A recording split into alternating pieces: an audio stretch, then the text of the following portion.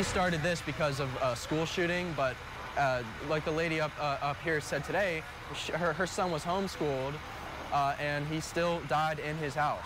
So I mean, what are we? Where are we supposed to go anymore?